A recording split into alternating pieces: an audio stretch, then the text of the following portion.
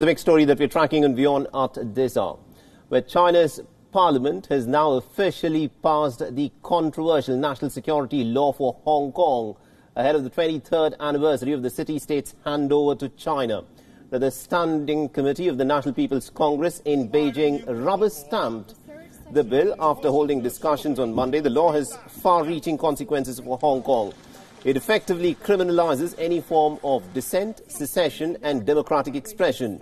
The pro-democracy voices have called this to be the end of the one country, two systems principle that had governed Hong Kong since 1997. The law has also been approved by the Chinese legislature without consulting Hong Kong's parliament.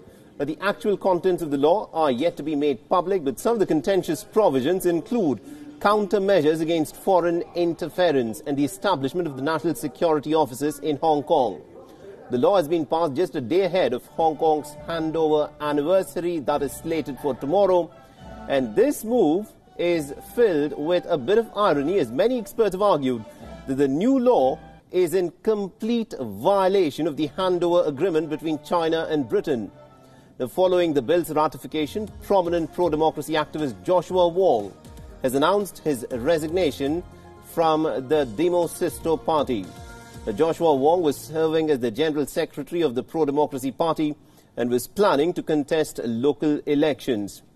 Now, Wong's colleagues Nathan Law and Agnes Chow have also resigned from the party. The pro-democracy activists are scared of being arrested under the new law, especially since there is no clarity on the extent of punishment that could Thank you